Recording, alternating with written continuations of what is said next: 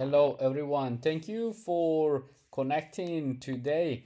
As we can see, this has been a latest robot released by a company called Astribot.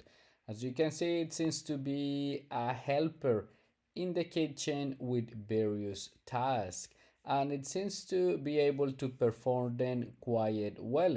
What I wonder about this stage robots and presentations is that everything is in a controlled environment.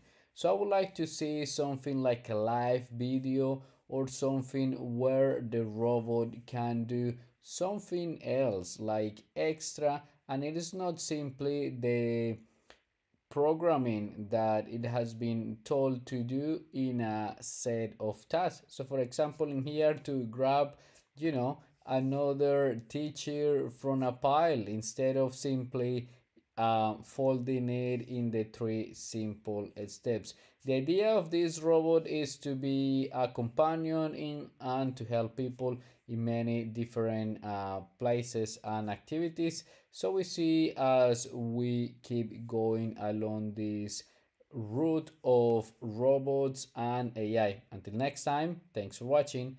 Ciao.